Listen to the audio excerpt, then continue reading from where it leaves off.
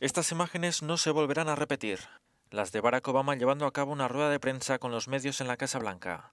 En su última aparición ante los periodistas como presidente de Estados Unidos, Obama ha dicho que su sustituto en el despacho Oval, el presidente electo Donald Trump, quizás entienda un poco más las políticas que ha llevado a cabo en su mandato cuando se ponga a trabajar en los asuntos más candentes. It may be that on certain issues, once he comes into office and he looks at Quizás cuando Trump esté al mando y dé un vistazo a las complejidades de ciertos asuntos, como la cobertura sanitaria para todo el mundo, la creación de trabajo y el crecimiento económico, eso le haga llegar a las mismas conclusiones a las que llegué yo. that may lead him to some of the same conclusions that that I arrived at.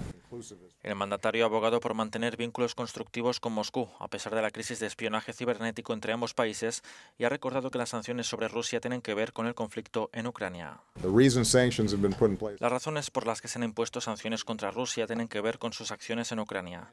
Es importante que Estados Unidos defienda el principio básico de que los grandes países no invadan e intimiden a países más pequeños.